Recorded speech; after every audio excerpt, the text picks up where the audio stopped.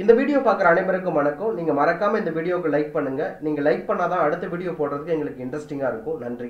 தமிழகத்தில் கடந்த ஆண்டு ஜூலை பதினொன்றாம் தேதி நடைபெற்ற அதிமுக பொதுக்குழு கூட்டத்தில் எடப்பாடி பழனிசாமி பொதுச் செயலாளராக தேர்ந்தெடுக்கப்பட்டார்.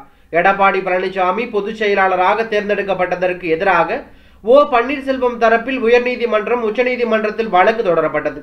இந்த வழக்குகளில் எடப்பாடி பழனிசாமி பொதுச் செயலாளராக தேர்ந்தெடுக்கப்பட்டது செல்லும் என்று உத்தரவிடப்பட்டது.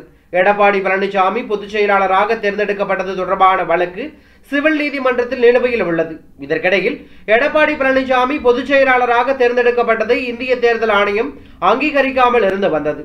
இது தொடர்பாக நீதிமன்றங்களிலும் எடப்பாடி பழனிசாமி மற்றும் ஓபிஎஸ் ஆகிய இரு தரப்பிலும் வழக்குகள் தொடர்ந்தார்கள். ஆனாலும் நீதிமன்றத்தில் எடப்பாடி பழனிசாமிக்கு ஆதரவான நிலைப்பாடு வந்த நிலையில் தலைமை தேர்தல் ஆணையமும் அவரை பொதுச் செயலாளராக அங்கீகரித்துள்ளது.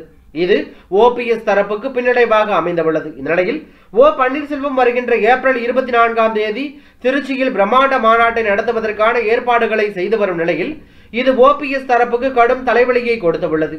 திருச்சியில் வருகின்ற இருபத்தி நான்காம் தேதி ஓபிஎஸ் தலைமையில் நடைபெறவிருக்கும் மாநாட்டிற்கு லட்சக்கணக்கான அதிமுக தொண்டர்கள் வருவார்கள்.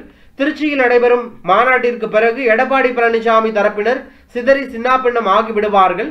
திருச்சி மாநாடு ஓ பன்னீர்செல்வத்துக்கு திருப்பு முனையாக அமையும் என்று ஓபிஎஸ் ஆதரவாளர்கள் தெரிவித்து வருகிறார்கள். இந்நிலையில் ஓபிஎஸ் அணியைச் சேர்ந்த மகளிர் அணி துணை செயலாளராக நியமிக்கப்பட்ட ஜெயதேவி நேற்று எடப்பாடி பழனிசாமி முன்னிலையில் அதிமுகவில் இணைந்தார். மேலும் தமிழகத்தில் பனிரெண்டுக்கும் மேற்பட்ட கல்லூரிகளைச் சேர்ந்த ஐநூறுக்கும் மேற்பட்டோர் தங்களை அதிமுகவில் இணைத்துக் கொண்டார்கள்.